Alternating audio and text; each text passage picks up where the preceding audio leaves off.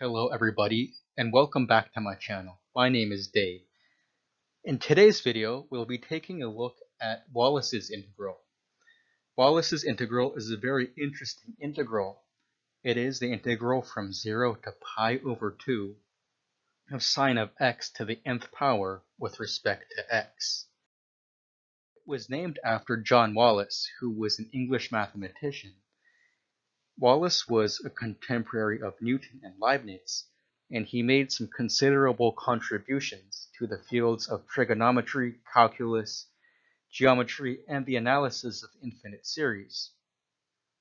He is also credited with introducing the infinity symbol to mathematics. In 1668, he, along with Christopher Wren, who was one of the most famous architects of his day, solved a problem proposed by the Royal Society concerning the collision of bodies, thereby introducing the concept of momentum to physics. In addition to a mathematician, he was also a theologian. He composed works on theology, logic, and English grammar, and he even worked as a cryptographer for the English government.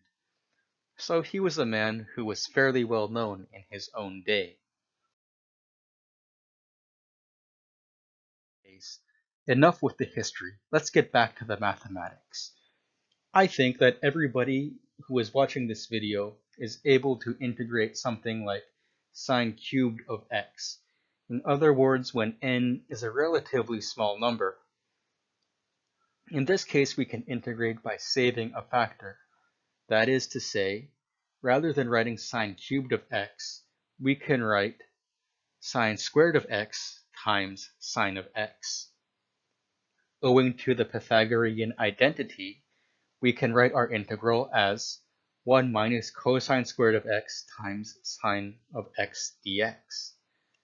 We can then use this to carry out a u substitution, whereby u is equal to cosine of x, du is equal to negative sine x dx, u of 0 is equal to 1, and u of pi over 2 is equal to 0. Doing this substitution gives us negative 1 times the integral from u equals 1 to u equals 0 of 1 minus u squared du.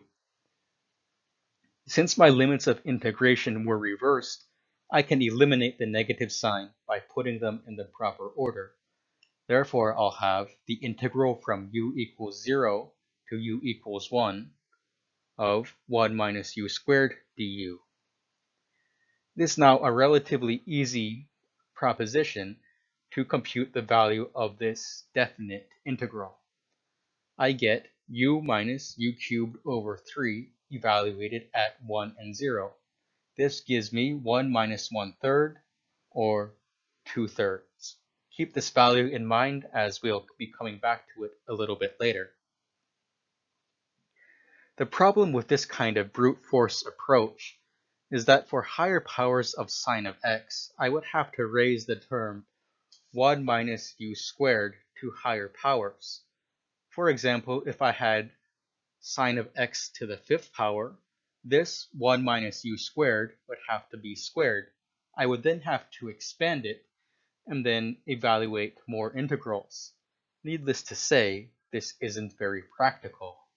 Therefore, we are going to seek a slightly more clever approach to this problem. We will let the integral of sine of x to the nth power be equal to i sub n. As we did before, we will try to save some powers. Only this time, we are going to remove a sine squared x to give us the integral of sine of x to the n minus 2 power times sine squared x dx. Again, we are going to use the Pythagorean identity and write this as the integral of sine of x to the n minus 2 power times 1 minus cosine squared of x. We will then distribute the sine of x to the n minus 2 power, and we will split this up into two integrals. Therefore, i sub n will equal the integral from 0 to pi over 2 of the sine of x to the n minus 2 power minus the integral from 0 to pi over 2 of sine of x to the n minus 2 power times cosine squared x dx. Observing the first integral, we can realize that this is really nothing more than i sub n minus 2, and we will write it like this. At this point, the integral is basically defined as a recurrence relation. A recurrence relation is merely a sequence in which the current term i sub n is determined in terms of one or more previous terms. I think you ha may have seen recurrence relations in the form of the Fibonacci sequence, where the current number is simply the sum of the two previous numbers. Since this is a recurrence relation, it would be nice if we could do something to simplify this integral. And that's exactly what we are going to do right now. We are going to attempt this by integration by parts. We'll let u equal cosine of x, which means that du is equal to negative sine x dx.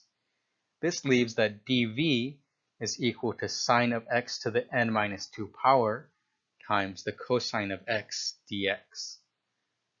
Now, we have to go and find v, so we'll get this by integrating. We will do this by a substitution. Since I've used u above as a variable, I'm going to use t to do my substitution. t will be sine of x, and dt will be cosine of x dx. This reduces to the simple integral t to the n minus 2 power dt. I can then use a power rule to integrate this, and I will get t to the n minus 1 power over n minus 1. When I substitute back in for t equals sine of x, I get sine of x to the n minus 1 power over n minus 1. Now that I have computed v, I can complete my integration by parts.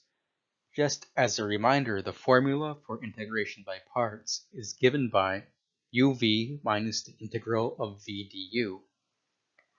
If I plug all of these things into the integration by parts formula, I get cosine of x times sine of x to the n minus 1 power over n minus 1, evaluated at pi over 2 and 0, minus the integral from 0 to pi over 2 of negative sine x times sine of x to the n minus 1 power over n minus 1 with respect to x.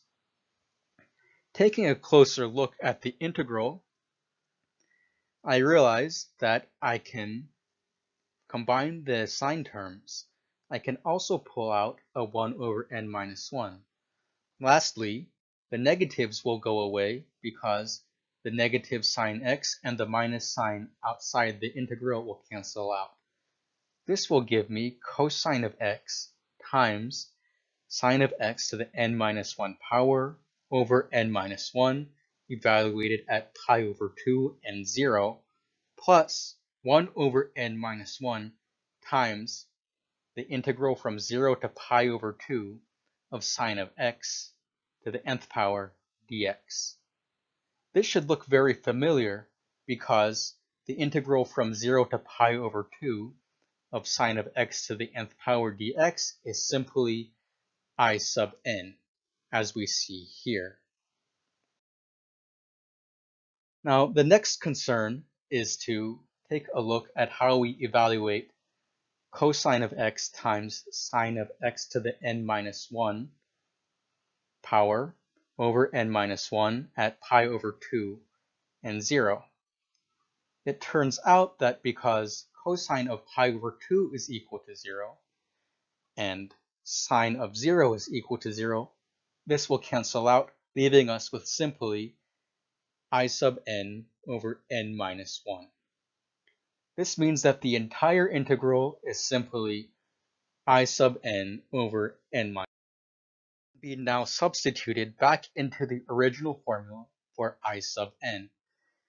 When I do this, I get i sub n is equal to i sub n minus 2 minus 1 over n minus 1 i sub n. This implies that i sub n plus 1 over n minus 1 i sub n is equal to i sub n minus 2. After doing some algebraic substitutions, I can arrive at my final recursive formula for i sub n, namely i sub n is equal to n minus 1 over n times i sub n minus 2. As with any recursive formula, it's necessary to establish some base cases. In this case, we have two base cases, namely i sub 0 and i sub 1. If n equals 0, anything to the 0 power is simply 1. Therefore, I will integrate from 0 to pi over 2 1 dx. It should be easy to see that the result of this integration is pi over 2. If n equals 1, I simply have the integral of 0 to pi over 2 of sine of x dx. This gives us negative cosine of x evaluated at pi over 2 and 0, which gives us a final value of 1. Therefore, I can now use my recursive formula to compute higher values of i sub n. For example, i sub 2 will be equal to i sub 0 times n minus 1 over n, which is pi over 2 times 1 half i sub 4 will equal i sub 2 times n minus 1 over n, which is the previous product times 3 quarters. Similarly, for the odd values, I would get i sub 1 times n minus 1 over n, which is 2 thirds. And for uh, n equals 5, or i sub 5, I get i sub 3 times n minus 1 over n, which is 2 thirds times 4 fifths. Now let's briefly verify these results. If I have the integral from 0 to pi over 2 of sine squared x dx, I can use the power reduction formula. This gives me 1 half times the integral of 0 to pi over 2 of 1 minus cosine of 2x. And this will give me 1 half times x minus sine of 2x over 2, evaluated at pi over 2 and 0. This will give me 1 half times pi over 2 minus the sine of pi over 2, or pi over 4. So this checks out with our previous result. Also earlier in the video, we showed that the integral from 0 to pi over 2 of sine cubed of x dx is equal to 2 thirds. So this is working just fine for now.